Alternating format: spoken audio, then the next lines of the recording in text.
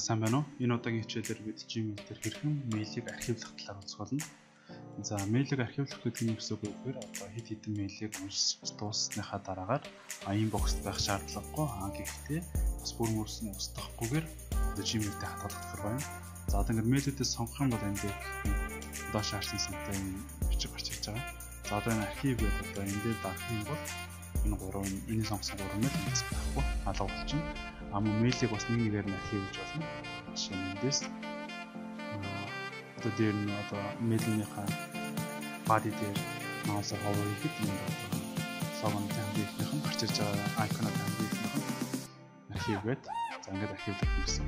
За тэгээд архивлагдсан мэйлүүд бол одоо нэг боксоос шууд байхгүй болно. За эдгээр хаана байгаа вэ гэхээр доош scroll доо хамгийн доотлолд одоо more гэсэн байгаа юм гэсэн.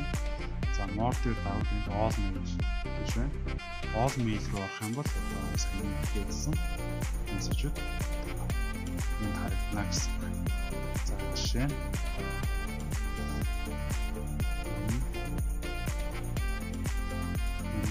энэ иймээс одоо хийсэн мэлээс буцаагаад одоо inbox руу оруулах юм бол энэ inbox дээр буцаад харагдаж байгаа буцаагаад архивлуул ингэж архивлаад inbox дээр харагдахгүй аа дахиад